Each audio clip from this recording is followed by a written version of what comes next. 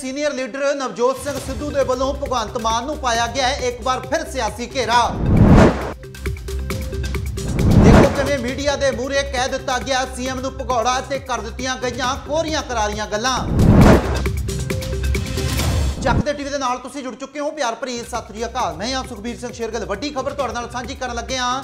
ਸਿਆਸੀ ਘਮਸਾਨ ਜੇ ਇਸ ਖਬਰ ਦੇ ਨਾਲ ਦੁਬਾਰਾ ਉੱਠਣ ਵਾਲਾ ਹੈ। ਜੀ ਹਾਂ, ਨਵਜੋਤ ਸਿੰਘ ਸਿੱਧੂ ਤੇ ਮੁੱਖ ਮੰਤਰੀ ਭਗਵੰਤ ਸਿੰਘ ਮਾਨ ਦੇ ਵਿੱਚ ਆਪਸੀ ਟਸਲ ਜਿਹੜੀ ਹੈ, ਰੁਕਣ ਦਾ ਨਾਮ ਨਹੀਂ ਲੈ ਰਹੀ ਤੇ ਦੁਬਾਰਾ ਇਹ ਮਸਲਾ, ਮਾਮਲਾ ਧੂਲ ਫੜਦਾ ਨਜ਼ਰ ਆ ਰਿਹਾ ਹੈ, ਜਿੱਥੇ ਮੁੱਖ ਮੰਤਰੀ ਭਗਵੰਤ ਸਿੰਘ ਮਾਨ ਦੇ ਵੱਲੋਂ ਭਰੀ ਸਟੇਜ ਦੇ ਉੱਪਰੋਂ ਇਹ ਚੀਜ਼ ਕਹਿ ਕੇ ਵੱਡੇ ਜਿਹੜੇ ਸਵਾਲੀਆਂ ਨਿਸ਼ਾਨ ਸਨ, ਨਵਜੋਤ ਸਿੰਘ ਸਿੱਧੂ ਦੇ ਉੱਪਰ ਚੱਕੇ ਗਏ ਕਿ ਉਹਨਾਂ ਦੇ ਵੱਲੋਂ ਨਿੱਜੀ ਹਮਲੇ ਮੁੱਖ ਮੰਤਰੀ ਭਗਵੰਤ ਸਿੰਘ ਮਾਨ ਦੇ ਉੱਪਰ ਕਿਉਂ ਕੀਤੇ ਗਏ ਨੇ?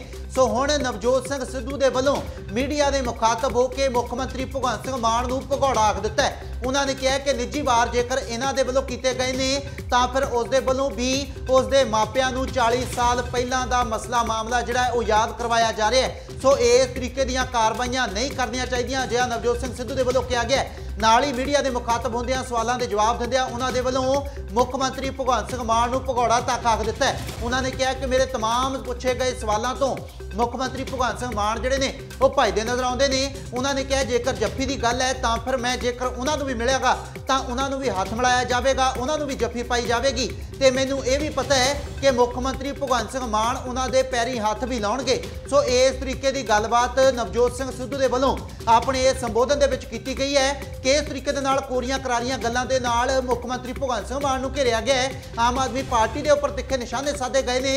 ਇੱਕ ਵਾਰ ਇਸ ਵੀਡੀਓ ਦੇ ਉੱਤੇ ਝਾਤ ਜ਼ਰੂਰ ਮਾਰ ਲੈਣਾ। ਮੈਡਮ ਸਿੱਧੂ ਨੇ ਕਿਹਾ ਕਿ ਪਹਿਲੀ ਆਫਰ ਤੁਹਾਨੂੰ ਸੀ ਕੇਜਰੀਵਾਲ ਦੀ ਭਗਵੰਤ ਮਾਨ ਤੋਂ ਪਹਿਲਾਂ। ਕਿੰਨੀ ਸੱਚਾਈ ਹੈ? ਮੈਂ ਕਿਹਾ ਇਹ ਸੱਚਾਈ ਹੈ ਜਾਂ ਝੂਠ ਹੈ? ਆਮ ਆਦਮੀ ਪਾਰਟੀ ਦਾ ਕੋਈ ਸਪੋਕਸਮੈਨ ਬੋਲੇ ਫਿਰ ਮੈਂ ਬੋਲੂ। ਬੋਲੇ? ਕੋਈ ਬੋਲਿਆ?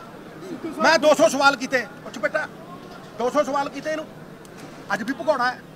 ਸਾਡੇ ਮੁੱਖ ਮੰਤਰੀ ਸਾਹਿਬ ਮੇਰਾ ਛੋਟਾ ਭਾਈ ਭਗੌੜਾ ਹੈ। ਇਹਦੇ ਘਰ 'ਚ ਖੜਾ ਇਹਨੂੰ ਲਲਕਰੇ ਮਾਰਦਾ। ਮੁੱਦਿਆਂ ਤੇ ਮਾਰਦਾ। ਆਵੇ। ਅੱਜ ਮਾਨਸਾ 'ਚ ਵੀ ਲੋਕਾਂ ਨੂੰ ਧੱਕੇ ਮਾਰੇ ਗਏ ਆ ਮਿਲਣਾ ਮੈਂ ਕਹਿੰਦਾ ਇਹ ਪਿਤਾ ਨੂੰ ਵੀ ਮੋੜਤਾ। ਮੈਂ ਕਿਹਾ ਤੁਹਾਨੂੰ ਮੇਰੀ ਗੱਲ ਨੂੰ ਸੁਣ ਲੈ ਅੱਜ। ਮੇਰੀ ਗੱਲ ਲਿਖ ਲੈ। ਬੜੇ ਬੜੇ ਤਾਨਾਸ਼ਾਹ ਨਹੀਂ ਰਹੇ। ਲੋਕਤੰਤਰ ਅਹੰਕਾਰ ਨਹੀਂ ਸਹਿੰਦਾ। ਮੈਂ ਕਹਿੰਦਾ ਉਹ ਹੱਸ ਕੇ ਮਿਲੂ ਛਿੜ ਕੇ ਮਿਲੂ ਜੱਫੀ ਪਾ ਕੇ ਮਿਲੂ ਲੇਕਿਨ ਮੁੱਦਿਆਂ ਤੇ ਠੋਕੂ। ਉਹ ਕਹਿੰਦੇ ਪਰਸਨਲ ਅਟੈਕ ਕੀਤਾ ਵਿਆਹ ਦੀ ਗੱਲ ਕੀਤੀ ਤੇ ਉਹਨੇ ਨਹੀਂ ਕੀਤਾ। ਮੇਰੇ ਕਹਿੰਦਾ ਮੈਂ ਤਾਂ ਮੈਂ ਤਾਂ ਜਿਉਂਦਿਆਂ ਜਗ ਜਿਉਂਦਿਆਂ ਦੇ ਮੇਲੇ। ਮੈਂ ਤਾਂ ਜਿਉਂਦਿਆਂ ਦੀ ਗੱਲ ਕੀਤੀ ਇਹ ਤਾਂ ਇਹਦੇ ਨਵਜੋਤ ਸਿੰਘ ਸਿੱਧੂ ਦੇ ਉੱਤੇ ਕੁਝ ਨਹੀਂ ਮਿਲਿਆ ਤੇ 40 ਸਾਲ ਪਹਿਲਾਂ ਮੇਰੇ ਮਾਂ-ਬਾਪ ਤੇ ਚਲੇ ਗਿਆ। ਜਿਹੜਾ ਉੱਥੇ ਵੀ ਕਲੀਅਰ ਕੀਤਾ। ਸਿੱਧੂ ਦੀ ਜ਼ਿੰਦਗੀ ਖੁੱਲੀ ਕਿਤਾਬ। ਨਾ ਸਿੱਧੂ ਤੇ ਕੋਈ ਤੌਮਤ ਇਹ ਆਪ ਹੀ ਕਹਿੰਦਾ ਟਾਈਮ ਓਨੈਸਟ ਪਰਸਨ ਇਹਨੂੰ ਅੰਗਰੇਜ਼ੀ ਬੋਲਣਾ। ਪਹਿਲਾਂ ਤਾਂ ਕਹਿੰਦੇ ਅੰਗਰੇਜ਼ੀ ਨਹੀਂ ਬੋਲਣੀ ਚਾਹੀਦੀ। ਚੱਲ ਠੀਕ ਹੈ ਛੋਟੇ ਵੀ ਤੂੰ ਮੇਰੇ ਲਈ ਅੰਗਰੇਜ਼ੀ ਬੋਲੀ। Thank you very much time honest person ਤਿੰਨ ਵਾਰ ਕਹਿੰਦਾ। ਮੈਂ ਲਾ ਦੂੰ ਫੇਰ ਲਾ ਦੂੰ। ਕਾਂਗਰਸ ਦੇ ਹਰ ਰੋਜ਼ ਵਿਆਹ ਦੀ ਗੱਲ ਤੇ ਗੱਲ ਹਾਂਜੀ। ਤੁਹਾਨੂੰ ਕਹਿ ਰਹੇ ਨੇ ਕਿ ਸਿੱਧੂ ਕਾਬਲ ਲਿਫਾਫੇ ਨੇ ਹਰ ਬਾਤ ਕਰਦਾ ਕਿਵੇਂ ਦੇਖੋ ਨਿੱਜੀ ਨਹੀਂ ਹੋ ਰਿਹਾ ਕਿਹੜੇ ਕਿਹੜੇ ਨਿੱਜੀ ਨਿੱਜੀ ਮੈਂ ਕਿਹਾ ਨਿੱਜੀ ਉਹ ਹੋਇਆ ਉਹ ਨਹੀਂ ਹੋਇਆ ਨਿੱਜੀ ਬਾਅਦ ਚ ਹੋਈ ਫਿਰ ਬਾਅਦ ਚ ਹੋਇਆ ਹਰ ਥਾਂ ਤੇ ਹੋਇਆ। ਜਵਾਬ ਨਹੀਂ ਦਿੰਦਾ। ਮੈਂ ਕਿਹਾ ਮੇਰੀ ਗੱਲ ਸੁਣ 200 ਸਵਾਲ ਪੁੱਛੇ। 200 ਸਵਾਲ ਅੱਜ 225 ਹੋ ਗਏ। ਅੱਜ 225 ਹੋ ਗਏ। ਤਾਂ ਇੱਕ ਦਾ ਜਵਾਬ ਦੇ ਮਿੱਤਰ ਪਿਆਰੇ? ਤੁਹਾਨੂੰ ਵੀ ਕੋਈ ਧਮਕੀ ਵਿਜੀਲੈਂਸ ਆਈਡੀ ਲਈ ਤੁਸੀਂ ਮੈਂ ਕਿਹਾ ਮੇਰੀ ਗੱਲ ਸੁਣ ਧਮਕੀ। ਇਹਨੂੰ ਕਹ ਸਿੱਟ ਲੈ ਫੇਰ ਅੰਦਰ।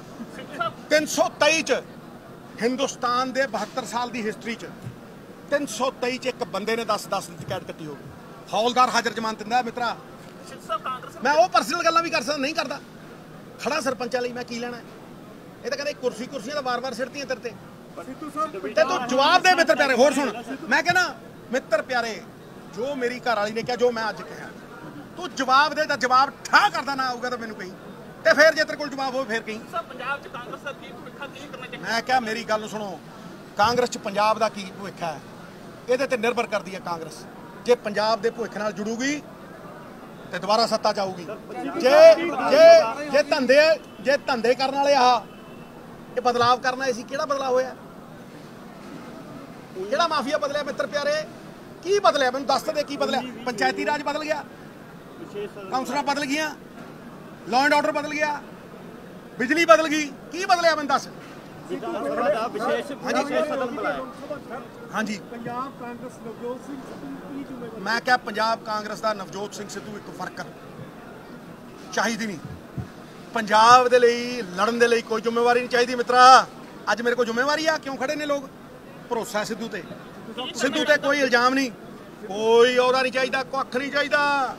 ਬਿਨ ਮੰਗੇ, ਮੋਤੀ ਮਿਲਦੇ ਆ, ਮੰਗ ਕੇ ਭੀਖ ਨਹੀਂ ਮਿਲਦੀ, ਕੁਛ ਨਹੀਂ ਮੰਗ ਹਾਂ ਉਹਨੂੰ ਪੁੱਛ ਲੈ ਕਰਾ ਪੁਛਾ ਪੁੱਤਰ ਪੁਛਾ ਹਾਂ ਜਿਹੜਾ ਤੁਸੀਂ ਕ੍ਰਿਕਟਰ ਰਹੇ ਹੋਗੇ ਖਿਡਾਰੀ ਨਾ ਬੇਟਾ, ਹੋਰ ਪੁਛਾ। ਖੜਾ ਇੱਥੇ ਨਵਜੋਤ ਸਿੰਘ ਸਿੱਧੂ। ਉਹ ਭਗੌੜੇ ਸਾਹਿਬ ਨੂੰ ਬੁਲਾ, ਸੀਐਮ ਸਾਹਿਬ ਨੂੰ। ਕ੍ਰਿਕਟਰ ਨੂੰ ਲੈ ਕੇ ਬੁਲਾ ਨਾ, ਜਿਹਨੇ ਤੇ ਤੋਂ ਬੁਲਾਉਂਦਾ ਮੈਂ ਤਾਂ ਉਹਦੇ ਘਰ 'ਚ ਖੜਾ ਬੋਲਦਾ। ਮੈਂ ਤਾਂ ਉਹਨੂੰ ਕਹਿੰਦਾ ਛੋਟੇ ਵੀਰ, ਅੱਜ 225 ਹੋ ਗਏ ਸਵਾਲ। ਹੈ ਦਮ ਤੇ ਆ। ਸਰ 2 2 ਕਰੋੜ ਵਾਲੀ ਜਿਹੜੀ ਗੱਲ 2 ਕਰੋੜ ਵਾਲੀ ਗੱਲ ਕਿਵੇਂ ਦੇਖਦੇ ਤੁਸੀਂ ਕ੍ਰਿਕਟਰ ਨਾਲ ਜੁੜੇ ਰਹੇ ਕੀ ਬਾਕੀ ਮੈਂ ਤੁਹਾਨੂੰ ਇਹ ਗੱਲ ਕਹਿਣਾ ਮੈਂ ਤੁਹਾਨੂੰ ਇਹ ਗੱਲ ਕਹਿਣਾ ਚਾਹੇ ਪਾਰਟੀ ਦਾ ਹੋਵੇ ਕੋਈ ਹੋਵੇ ਕਰਪਟ ਹੋਵੇ ਦੇ ਦੇ ਅੰਦਰ। ਕਰ ਲੈ ਪੈਸੇ ਵਸੂਲ ਜੈ ਜੈਕਾਰ। ਬੋਲਿਆ ਕਿਤੇ? ਮੈਂ ਤਾਂ ਆਪਣੇ ਆਪ ਤੇ ਨਹੀਂ ਬੋਲਿਆ। ਕਰ। ਪ੍ਰਾਪਰਟੀਆਂ ਜ਼ਬਤ ਕਰ ਜਿਹਦੇ ਤੇ 3000 ਦਾ ਜਿਹਦੇ 3000 ਦਾ ਇਲਜ਼ਾਮ ਲਾਣਾ 300 ਕਰੋੜ ਦਾ ਜ਼ਬਤ ਕਰ। ਹੈ ਕਿਹਦੇ ਕੋ ਪੰਜੀ ਨਹੀਂ ਲਈ। ਮੈਂ ਕਹਿ ਚੁੱਕਿਆ ਉਹਦੇ ਬਾਰੇ। ਮਾਨ ਵੈਸੇ ਤਾਂ ਬਹੁਤ ਗੱਲਾਂ ਕਰਦੇ ਆ। ਮੈਂ ਨਿਊਜ਼ ਬਣਾਉਣੀ ਉਹਦੀ ਪੰਜਾਬ ਸਰਕਾਰ ਨੇ ਸਿੱਧੂ ਸਾਹਿਬ ਪੰਜਾਬ ਸਰਕਾਰ ਨੇ ਸਰ ਵਿਸ਼ੇਸ਼ ਸਦਨ ਬੁਲਾਇਆ। ਫੇਰ ਕਰਾਂ ਛੋਟੇ ਵੀਰ ਜਿਹੜੇ ਸਵਾਲ ਕਰਦਾ, ਠੋਕ ਕੇ ਕਰਦਾ, ਸੱਚ ਦੇ ਬਲਬੂਤੇ ਦੇ ਦਮ ਤੇ ਆ ਕਾਲੇ ਇਲਮ ਤੇ ਰੂਹਾਨੀ ਇਲਮਾਂ ਦੇ ਮਾਹਿਰ ਬਾਬਾ ਆਲਮ ਸ਼ਾਹ ਜੀ 5 ਮਿੰਟਾਂ ਦੇ ਵਿੱਚ ਕਾਲੇ ਇਲਮ ਦਾ ਸਮਾਧਾਨ ਗਰੰਟਡ ਕਰਵਾਓ। ਅਸੀਂ ਕਹਿੰਦੇ ਨਹੀਂ ਕਰਕੇ ਦਿਖਾਉਨੇ ਆ 98768 98625 ਸਮੱਸਿਆ ਜਿਵੇਂ ਲਵ ਮੈਰਿਜ, ਮਨ ਪਿਆਰ, ਵਸ਼ੀਕਰਨ ਕਰਨਾ ਜਾਂ ਤੁੜਵਾਣਾ ਕਾਰੋਬਾਰ ਦਾ ਨਾ ਚੱਲਣਾ, ਗ੍ਰਹਿ ਕਲੇਸ਼, ਵਿਆਹ ਦੇ ਲਈ ਮਾਂ-ਬਾਪ ਦੀ ਮਨਜ਼ੂਰੀ ਪਤੀ ਪਤਨੀ ਦੇ ਵਿੱਚ ਅਣਬਣ, ਵਿਦੇਸ਼ ਦੇ ਵਿੱਚ ਪੱਕਾ ਹੋਣਾ, ਕੋਰਟ ਕਚਹਿਰੀ, ਸੌਤਨ ਦੁਸ਼ਮਣ ਤੋਂ ਛੁਟਕਾਰਾ। ਸਵਾਲ ਪੁੱਛਣ ਦੀ ਕੋਈ ਫੀਸ ਨਹੀਂ, ਕਿਸੇ ਦੁਖੀ ਭੈਣ ਭਰਾ ਦਾ ਪਤੀ ਪ੍ਰੇਮੀ, ਬੇਟਾ ਕਿਸੇ ਦੇ ਵਸ਼ ਵਿੱਚ ਹੈ ਤਾਂ ਤੁਰੰਤ ਸੰਪਰਕ ਕਰੋ। ਘਰ ਬੈਠੇ ਫੋਨ ਤੇ ਹਰ ਸਮੱਸਿਆ ਦਾ ਹੱਲ ਕਰਵਾਓ। ਪਤਾ ਲੁਧਿਆਣਾ, ਨੰਬਰ ਨੋਟ ਕਰੋ 98768 98625